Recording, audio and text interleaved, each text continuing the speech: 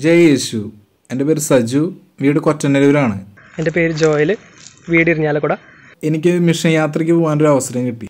പോകുമ്പോൾ തന്നെ എന്റെ മനസ്സിലേക്ക് കടന്നു വന്നൊരു ചിത്രം ഇരു കൈകളും നീട്ടി സ്വീകരിക്കുന്ന കർത്താവിന്റേതായിരുന്നു. ഞങ്ങൾ ഇവിടുന്ന് യാത്ര ആരംഭിക്കുന്നത് ചാന്തയിലേക്കാണ്. മഹാരാഷ്ട്രയിലെ ചാന്ത എന്ന് പറഞ്ഞ രൂപതയിലേക്കാണ്. ഞാൻ രണ്ടായിരത്തി പതിനാലിൽ ജി സി എന്ന ഇന്റർനാഷണൽ പ്ലാറ്റ്ഫോം വഴി ഒരു മിഷന് പോകാൻ സാധിച്ചു. ആസാമിൽ തമൽപൂർ എന്ന കൊച്ചു ഗ്രാമമായിരുന്നു എന്റെ മിഷൻ പ്രദേശം. പത്തൊമ്പത് കുടുംബങ്ങൾ അടങ്ങുന്ന ഒരു ചെറിയൊരു മിഷൻ പ്ലേസ് ആയിരുന്നു. പ്രിന്റേറിയൻ അച്ഛന്മാർ വന്ന് നടത്തുന്ന ഒരു മിഷൻ പ്ലേസ് ആയിരുന്നു തമൽപൂർ അവിടെ ഒരു പള്ളിയോട് ചേർന്ന ഒരു പള്ളിക്കൂടവും രണ്ട് ഹോസ്റ്റലും ഉണ്ടായിരുന്നു.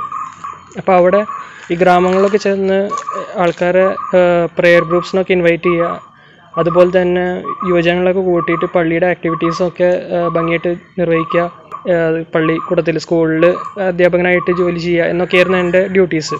ഞങ്ങൾ ഹിന്ദി ആയിരിക്കും ഭാഷ എന്ന് വിചാരിച്ചിട്ടാണ് ഞങ്ങൾ അവിടെ ചെന്ന് എത്തിപ്പെട്ടത്. പക്ഷേ അവിടുത്തെ ഒരു ലോക്കൽ ലാംഗ്വേജ് ആണ്. ഞങ്ങൾ അവിടുത്തെ അച്ഛന്മാർ അത് പഠിപ്പിച്ചു. എനിക്ക് അവിടുത്തെ യുവജനങ്ങളൊക്കെയും ആയിരുന്നു എന്റെ മെയിൻ ഇൻട്രസ്റ്റ് അവിടെ രണ്ട് പയ്യന്മാരുണ്ടായിരുന്നു സിൽവസ്റ്ററും ടാക്കൂർ എന്ന് പറഞ്ഞിട്ട് രണ്ട് ചങ്ക് സുഹൃത്തുക്കളൊക്കെ ഉണ്ടായിരുന്നു. പിന്നെ ഒരു പത്ത് ഇരുപത്തിരണ്ട് പിള്ളേർ ഇവരൊക്കെ കൂടിയിട്ടാണ് ഈ എന്റെ ഒരു മിഷൻ ഞങ്ങളവിടെ ചെയ്തിരുന്നത് വീടുകൾ വിസിറ്റ് ചെയ്യും. ഞങ്ങൾ അവിടെ അവർക്ക് വേണ്ടി പ്രാർത്ഥിക്കും അവരുടെ വിശേഷങ്ങൾ ഞങ്ങൾ അറിയും അങ്ങനെയൊക്കെയായിരുന്നു ഞങ്ങളുടെ യാത്രകൾ. ഞങ്ങളൊരു യുവജനങ്ങളൊക്കെ ആയിട്ട് കൂട്ടിയിട്ട് ഞാൻ ഇങ്ങനെ ഒരു ചെറിയൊരു ഉല്ലാസയാത്ര പ്ലാൻ ചെയ്തിട്ടുണ്ടായിരുന്നു. ദിവസം അടുത്തപ്പോഴേക്കും ഈ യാത്രയ്ക്ക് പോവാൻ ഠാക്കൂർ എന്ന പയ്യന് എന്തോ ചെറിയ പ്രശ്നങ്ങളൊക്കെ ഉണ്ടായിരുന്നു. അപ്പോൾ ഞാൻ സിൽവസ്റ്ററിനോട് ചോദിച്ചു ഠാക്കൂറിനെ കൊണ്ടുപോകാൻ അത്രയും നിർബന്ധമാണോ? അപ്പോൾ അവന്റെ മുഖം ഒന്ന് വാടി. പിന്നെ അവൻ തിരിച്ചൊരു ഉത്തരം പറഞ്ഞ് നമ്മുടെ ഈശോ ആയിരുന്നെങ്കിൽ തൊണ്ണൂറ്റൊമ്പത് പേരിൽ ഓരോ നഷ്ടപ്പെട്ടാലും അതിന്റെ പിന്നാലെ പോകുന്ന ആളാണ് നമ്മളും അങ്ങനെ ആയിരിക്കേണ്ടതെന്നൊക്കെ പറഞ്ഞപ്പോൾ എനിക്ക് ഭയങ്കരമായിട്ട് തട്ടി.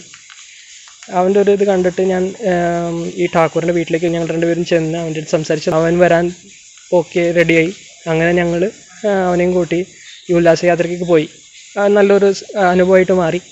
തുടർന്ന് ഈ യോജനകളൊക്കെയും കുറേയൊക്കെ ആക്ടിവിറ്റീസിൽ അവിടെ പാരീഷിൽ സഹായിച്ചിരുന്നു. ഇങ്ങനെയൊക്കെയാണ് എന്റെ മിഷൻ അനുഭവ യാത്രകൾ.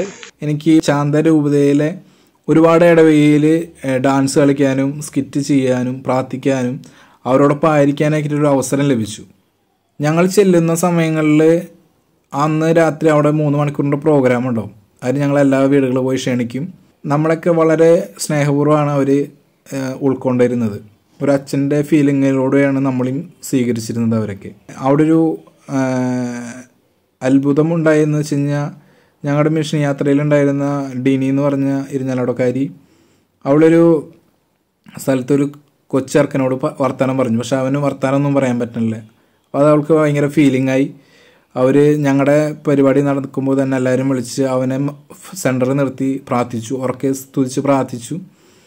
കുറച്ച് കഴിഞ്ഞപ്പോൾ ഞങ്ങൾ അവനോട് ആ കുട്ടിയോട് സംസാരിച്ചപ്പോൾ അവൻ സംസാരിച്ചു. അപ്പോൾ അവിടുത്തെ അപ്പച്ചൻ പറഞ്ഞു ഇവൻ സംസാരിക്കാത്ത വ്യക്തിയായിരുന്നു. പ്രാർത്ഥിച്ചതിന് ശേഷം അവൻ സംസാരിക്കാൻ പറ്റിയെന്നൊരു അത്ഭുതം ഞങ്ങൾക്ക് കാണാനിടയായി. നമ്മൾ ക്രിസ്തുവിനെ നൽകാൻ എത്രത്തോളം നമുക്ക് യോജനകൾ പറ്റും എന്നുള്ള കാര്യത്തിൽ ഞാനിപ്പോഴും വളരെ പ്രത്യാശയുള്ളൊരു ഇതാണ്. നമ്മൾ എവിടെ ആയിരിക്കുന്നോ അവിടെ മിഷൻ പ്രവർത്തനം ചെയ്യണം. നമ്മൾ എവിടെയായിരുന്നാലും ചെറിയ ചെറിയ നമ്മുടെ മിഷൻ ഏരിയ നമ്മുടെ വീടും നമ്മൾ ജോലി ചെയ്യുന്ന സ്ഥലങ്ങളിലും നമ്മുടെ ഇടവേക്കെയാണ് ഈ മിഷൻ മാസത്തിൽ എല്ലാവർക്കും നല്ലൊരു മിഷൻ തീഷ്ണത ഉണ്ടാകട്ടെ എന്ന് പ്രാർത്ഥിക്കുന്നു.